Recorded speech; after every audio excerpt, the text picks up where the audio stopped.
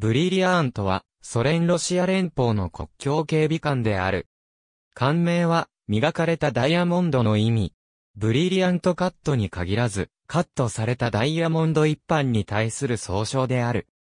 1972年2月1日、ソ連国家保安委員会の1124設計によって建造される工場番号第710号艦がタタール自治ソビエト社会主義共和国の AM 合力記念ゼレノドーリスク造船所で寄港された。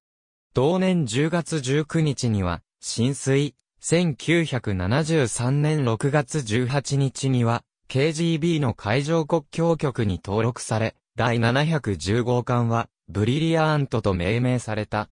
春のうちには内水システムを経由してバレンツ海、コーラ湾に面したムールマンスク州クフシンスカやサルマに引き渡された。ブリリアーントは同地において海上公務を実施した。同年12月25日に試験が終了すると、北方国境警備艦軍事管区、北西国境警備管区に配備された。ブリリアーントは200海里排他的経済水域の警備任務につき、コーラ半島周辺のバレンツ海で行動している。ソビエト連邦の崩壊後は、所属がロシア国境軍に変更された。1995年3月13日には売却、解体のために除籍され、4月26日には解体作業が実施された。ありがとうございます。